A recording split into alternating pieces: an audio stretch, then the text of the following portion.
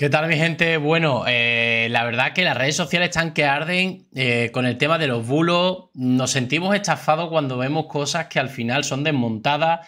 Eh, al final tampoco es verdad, es cierto que no, no sabes qué creerte. ¿De dónde saca la información Vito Quiles, un periodista de 24 años, muy polémico, que está en contra del gobierno en concreto y seguramente de muchos partidos, pero bueno, que hizo un vídeo dentro de un vertedero en el cual estaban arrojando bolsas de basura, eh, en las cuales de esas bolsas de basura había ropa que en teoría era para esas personas que estaban quedando eh, desfavorecidas o que estaban quedando por el tema de la dana, que necesitaban ropas y demás, ¿vale? Dicho esto, él se coló de una manera, pues bueno, haciéndose pasar por un trabajador de allí y grabó. Alvise más de lo mismo, ¿vale? Así que si os parece, vamos a ver, eh, lo ponemos así por tema de derechos de autor, ya sabéis, y vamos a ver la última hora a este respecto. Y es que el concejal de Alfafar, uno de los pueblos afectados por la Dana, eh, desmonta el bulo de Vito Quiles. No se ha tirado ropa que no se haya inspeccionado antes. Esto ha sido en el programa de la sexta conspiranoico, que ojo, también han cometido sus cagadas el, el, equipo de, bueno, el programa de la sexta, cualquiera de los programas de la sexta, han estado metiendo la pata con informaciones que no eran verídicas. Entiendo que no es por querer desinformar, sino por errores que se cometen, somos personas, pero aquí en este caso pues se desmonta eh, lo que ha dicho Vito Quile y vamos a ver un poco esta última hora. Concejal de Alfafar, buenas noches. Buenas noches. A ti incluso te han señalado por las redes esta noche poniendo tu foto, poniendo tu correo electrónico. Ostras, qué fuerte. Con esta mentira para que la gente te señale y te manden mails. Sí, completamente. La verdad que, estoy un poco concertado, la verdad. Pero a ver, ¿qué ha, pasado? ¿Toda la ropa que estamos donando acaba tirada en un vertedero? Qué fuerte, tío. ¿Qué va? ¿Qué va? ¿Qué va? ¿Qué va? Para nada. Resulta que, bueno, seré claro y seré, y seré breve también. Eh, hemos recibido mucha ropa eh, y desde el miércoles aproximadamente, martes, jueves, de la semana pasada estuvimos recibiendo ropa y, y bueno, eh, la gente ha sido muy solidaria y nos ha, nos ha llegado a un punto incluso de, decir de hace tres días que no queríamos más ropa. Eh, estando la ropa ahí, donde la gente ha podido venir a por ella sin ningún tipo de problema, eh, les hemos abierto las puertas para, para que puedan ver la ropa que hay, que cojan lo que necesitan eh, pasados los días, antes de ayer, eh, los médicos que tenemos en, las plantas nos aconsejan que, bueno, que la ropa eh, no puede estar mucho tiempo ahí porque había llovido el día de antes, habíamos visto ya empezar a, volar polillas, chinches, y era un, un, foco de infección bastante, bastante... Claro, esto es lo que os digo, mi gente, en la vida hay explicaciones y no es todo lo que parece. Entonces, si se ha tirado alguna ropa o parte de esa ropa porque tenía polillas y chinche, eh, porque se ha humedecido, porque ha estado eh, en el suelo, porque ha estado mal conservada o mal guardada, o lo que sea, evidentemente tú no puedes dar una ropa con chinche ni con polilla. Importante donde nos aconsejaban que, que no era seguro estar ahí. Al fin y al cabo ahí pasan entre 200 300 Ustedes fijaros, yo, yo cuando vi el vídeo de Vito Kile, eh, que hay cosas en las que he puesto de acuerdo con él, yo digo, vamos a ver, vamos a ver. Incluso el ayuntamiento, ¿qué gana el ayuntamiento de Alfafar tirando la ropa? Yo, lo lógico es, mira, hay excedente de ropa. Los alimentos que se ponen malos se tiran, evidentemente. Pero el excedente de ropa nunca se tira. Yo creo que el que tiene ropa normalmente la dona en, en los sitios estos, bueno, en los contenedores estos de ropa, ¿no? Pero entonces, vale, si no hace falta para las personas por la dana porque ya se ha abastecido, yo entiendo que esa ropa pues va a Carita o donde haga falta. Pero tirarla nunca. Yo sabía que tenía que haber algo detrás de esto. Digo, ¿qué gana el ayuntamiento quitando, tirando la ropa a la basura? ¿Qué gana?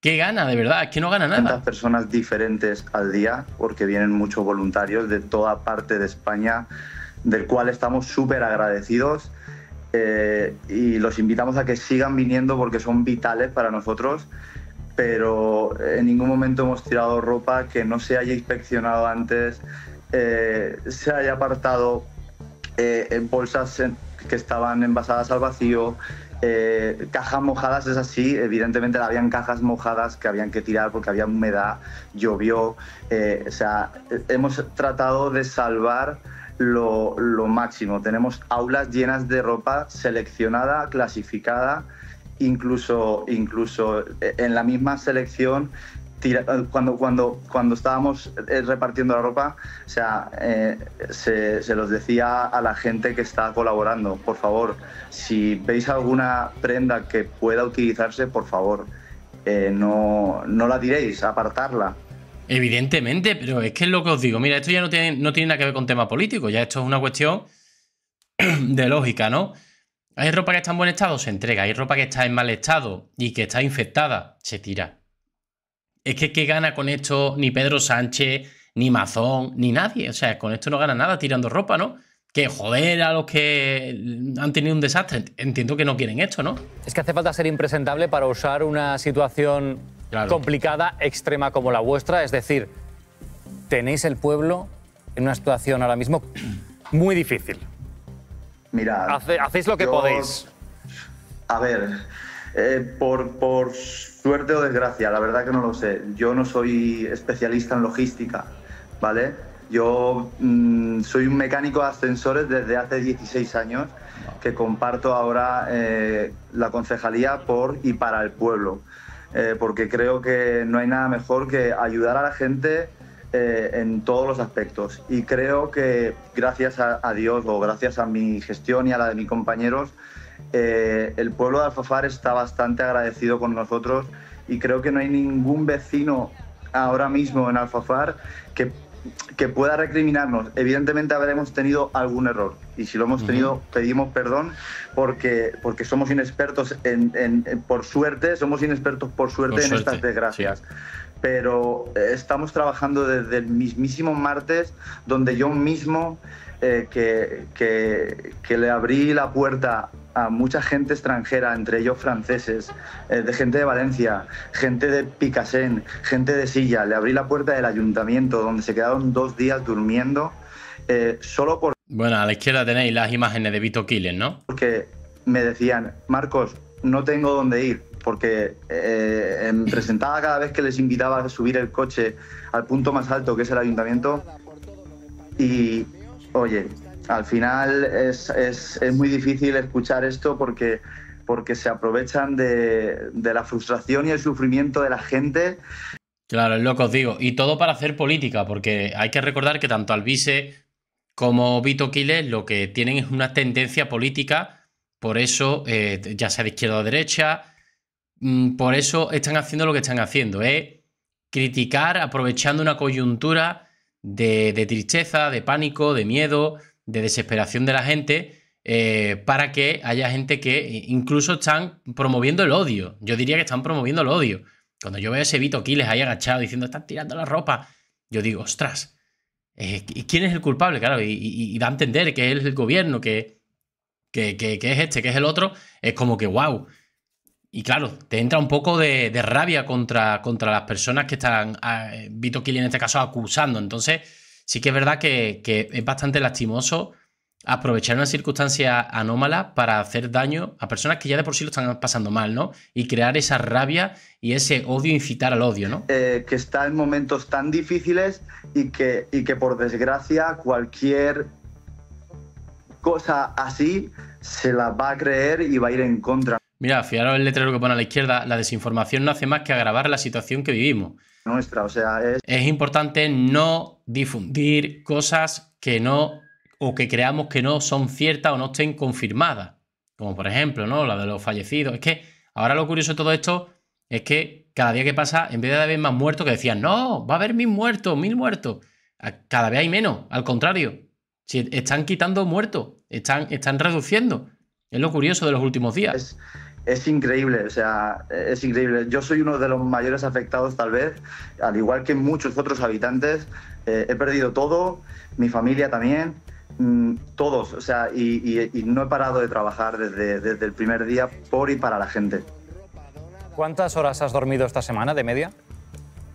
Pues mira, los primeros días te podría decir que ninguna. Los tres, cuatro primeros días, ninguna, literal, un cuarto de hora, media hora, en intervalos de, de dos, tres horas, volví a dormirme un cuarto de hora. Eh, sí, estos últimos días he conseguido al menos ya dormir tres, cuatro seguidas, pero es que eh, me levanto seis y media de la mañana y, mira, ahora mismo estoy aquí para tener que, que desmentir algo que afecta a tanta gente. Y haciéndole perder tiempo para desmentir un bulo, ¿no? Bueno, en fin, mi gente, lo dejamos por aquí, no quiero alegar mucho más la historia. Esto es lo que está viendo. Hay que tener mucho cuidado también con lo que cada uno desde un móvil, porque es muy fácil. Oye, tú coges el móvil y enseñas cualquier cosa y sin saber que exactamente o, o digamos corroborar lo que están haciendo, venga, vamos a tirar un bulo, ¿no? Y hombre, es lastimoso. Al final todo tenía su explicación, tenían chiche, tenían polillas esa ropa, que ha sido o mal almacenada, mal guardada, o había un exceso, se mojó, y bueno, creó esa infección que evidentemente ropa con chinche yo creo que nadie quiere, ¿no? Creo que nadie querría. En fin, mi gente, lo dejamos por aquí. Nos vemos en el siguiente vídeo con más información. Un saludo.